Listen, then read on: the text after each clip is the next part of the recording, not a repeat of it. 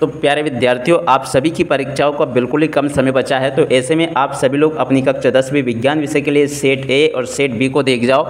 इसके अलावा दो सेट पेपर और ही मेरे पास में तो आज हम इस वीडियो में बहुत ही जल्दी से चार सेट पेपर का पूरा सोल्यूशन देखने वाले हैं। तो चलिएगा आप आगे बढ़ते हैं, समझते हैं कि आपका पेपर पूरा का पूरा कैसा आ रहा। है देखिएगा, प्यारे विद्यार्थियों, अगर आप लोग इन दोनों सेट का रिविजन पूरा अच्छे से कर जाते हो तो पूरा का पूरा पेपर आपका यहीं से बनकर आ रहा है, कोई भी इसमें से बाहर नहीं जाएगा। तो चलिएगा आप जल्दी से आगे बढ़ते हैं, समझते हैं कि आपका पूरा पेपर किस प्रकार का आ रहा है और आप सभी को इसका सॉल्यूशन कैसे पूरा कंप्लीट कर लेना चाहिए? देखिएगा सेट ए का सॉल्यूशन दोपहर में मेरे द्वारा अपलोड कर दिया गया था और उसके अलावा सेट बी का सोल्यूशन मैंने आपको शाम को अपलोड किया था। तो आपने वीडियो को देख लिया होगा और अभी सुबह मैंने आपको सेट सी भी दे दिया।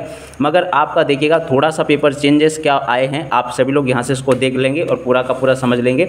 देखिएगा, आज मैं यहाँ से आपको पूरा का पूरा आपका जो पेपर है ना, उसका फुल सोल्यूशन देने वाला हूँ। एक भी क्वेश्चन आपका यहाँ से नहीं छूटेगा। तो चलिएगा आगे बढ़ते हैं, समझते हैं कि आपका पेपर कैसा आ रहा है और किस प्रकार से आप सभी को इसका सोल्यूशन कंप्लीट कर लेना चाहिए। तो देखिएगा प्यार विद्यार्थियों, यहाँ से मैं आपको एक एक करके सारे सेट पेपर बताने वाला हूँ। एक भी सेट आपका नहीं छूटेगा।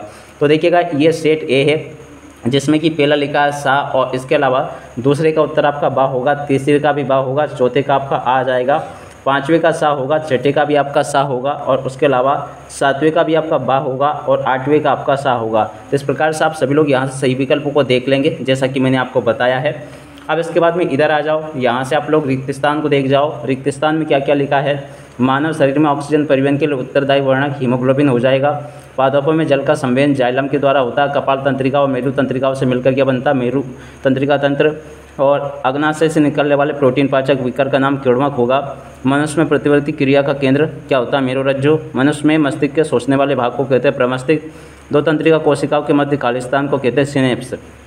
इसके बाद में यहाँ से आप लोग इसको देख लें, एक वाक्य में उत्तर। एक वाक्य उत्तर में क्या क्या दिया गया है? पहला क्वेश्चन चांदी के आभूषण पर काली परत किसकी होती है? सिल्वर सल्फाइड की। और इसका नाम क्या है? पूरा विरंजक चूर्ण। उसके बाद में अगला क्वेश्चन किस धमनी में वी ऑक्सीकृत रोधी प्रभावित होता है? महाधमनी में मानव उत्सर्जन तंत्र की कार्यात्मक इकाई नेप्रोन है और किस हार्मोन की कमी से मधुमेह रोग होता है? इंसुलिन की कमी से होता है। और इसके अलावा छठी का उत्तर तीस डिग्री हो जाएगा। सातवें का उत्तर प्रिज्म कोण होगा? अब इसके बाद में इधर आ जाते हैं तो यहाँ से देख लें आप सभी लोग क्या लिखा है। देख सकते हो यहाँ पर सही जोड़ी बनाकर लिखिए। तो सही जोड़ी आपको ऐसे बना लेनी है।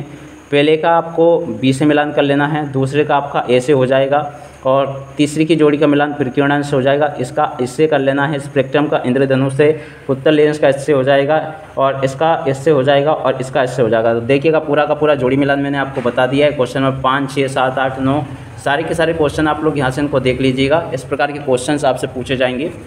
जैसा कि मैं आपको बता रहा हूँ, आप स्वयं यहाँ से इसको देख लें और पूरा का पूरा नोट कर लें। और इसके बाद में आगे बढ़ते हैं। एक और पेपर मैं आपको दिखा देता हूँ, क्योंकि आपका जाते जाते अच्छे से रिवीजन हो जाए तो एक तो पेपर ये रहा। और एक और बता देता हूँ आपको मैं, इन दोनों ही पेपर का रिवीजन आप लोग कर ले अच्छे से, जैसे कि ये की वाला है। तो इसका जल्दी से उत्तर देख ले आप लोग। फ़र्स्ट का सा जाएगा सेकंड का बा होगा थर्ड का बा होगा और फोर का आपका दा होगा, फाइव का आपका सा होगा, सिक्स का भी सा होगा, उसके अलावा सेवन का भी सा होगा, एट का आपका दा होगा। रिक्त स्थान देख लें, इसमें आपको आदि भरना है, इसमें आपको फ्लोएम आ जाएगा, तीसरे में आपका शोषण होगा और चौथे में ये आ जाएगा आपका। इस प्रकार से देख लें आप सभी लोग और इसके बाद में आगे बढ़ते हैं और क्वेश्चन देखते हैं। तो देखिएगा, पाँचवें में आपका रासायनिक अभिक्रिया होगा, छठे में आपको संयोजन कर लेना है। सातवें में स्नेप्स और उसके अलावा आठवें में आपको मेरु रज्जु भाग और इसके अलावा जोड़ी कुछ इस प्रकार से मिलान करनी है। देखिएगा, आप सभी लोगों को पता है कि सेट ए मैंने दोपहर में आप सभी को दे दिया था और उसके अलावा ये आपका सेट बी था। तो सेट बी का भी सॉल्यूशन देख लें आप सभी लोग। इसमें फ़र्स्ट में सिट्रिक अम्ल आ जाएगा, सेकंड में आपका ये होगा और थर्ड में आपका ये हो जाएगा। दर्पण सूत्र ये इधर लिखा गया है और जटर रस का पीएच मान क्या होता है? एक दशमलव पाँच से तीन के बीच में होता है। वाहन के पीछे ट्रैफ़िक को देखने के लिए कौन सा दर्पण इस्तेमाल किया जाता है? तो देखिएगा उत्तल दर्पण होता है। उसके अलावा ऐसा लेंस जो प्रकाश की किरणों को एक बिंदु पर केंद्रित कर देता है इसको कहते हैं अवतल लेंस तो देखिएगा पूरा का पूरा पेपर मैंने आपको बता दिया है।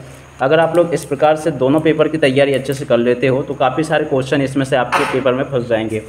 और देखिएगा यहाँ पर मैं आप सभी को बता देना चाहता हूँ कि आपके जो दो पेपर है ना सेट ए जो था आपका सेट ए का सॉल्यूशन मैंने आपको दोपहर में दिया था और सेट बी का सॉल्यूशन मैंने आपको शाम को दिया था। अगर आप दोनों इन सेट पेपर को लगा लेते हो और एक सेट सी सुबह आया था तो आप अगर दोनों तीनों सेट पेपर को लगा लेते हो तो पूरा का पूरा पेपर आपका इसी में से पूछा जाएगा।